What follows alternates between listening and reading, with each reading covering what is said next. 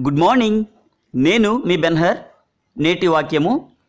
దుష్టుల ఆలోచన చొప్పున నడవక పాపుల మార్గమున నిలువక అపహాసకులు కూర్చుండు చోటును కూర్చుండక యహోవా ధర్మశాస్త్రమునందు ఆనందించుచు దివారాత్రము దానిని ధ్యానించువాడు ధన్యుడు.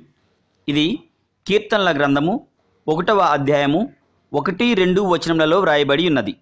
లోకంలో సినిమా హాళ్ళు ఉన్నాయి మద్యం త్రాగడానికి బార్లు ఉన్నాయి.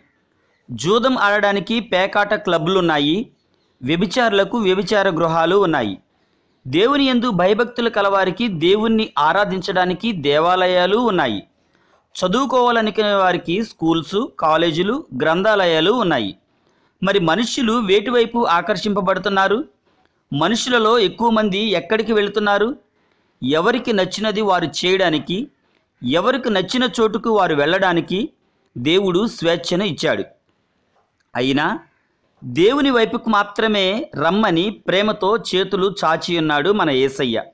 అయితే మనుషులు మాత్రం విచ్చలవిడిగా జీవిస్తున్నారు.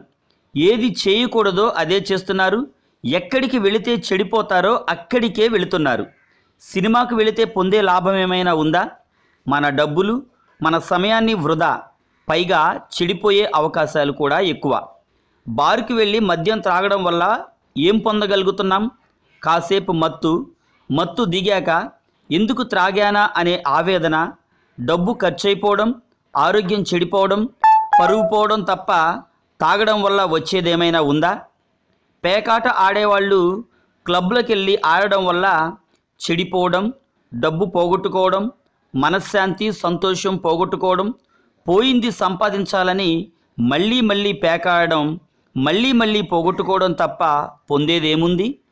వ్యభిచారం చేసేవాళ్ళు డబ్బు పరువు పోగొట్టుకొని జబ్బులు సమస్యలు కొని తెచ్చుకొని చివరికి అంతా పోగొట్టుకొని కుటుంబాలే నాశనం చేసుకొని ఆత్మహత్యలు చేసుకునేవా చేసుకునేవారు ఎందరున్నారు గ్రంథాలయాల్లో ఎన్నో బుక్స్ చదివి ఎంతో జ్ఞానం సంపాదించి ఎన్నో విషయాలు తెలుసుకున్నా దానివల్ల చివరకు ఫలితం సున్నా.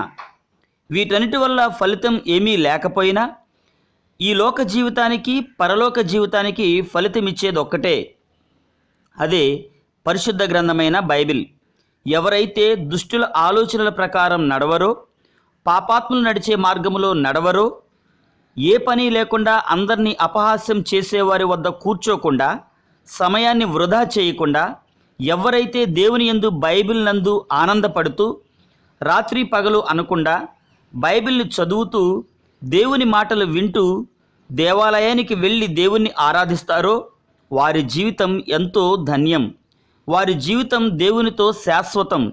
కాబట్టి క్రీస్తునందు ప్రియ విశ్వాసులారా సమయాన్ని వృధా చేయక కనీసం ఇప్పటి నుండైనా బైబిల్ని చదువుతారా?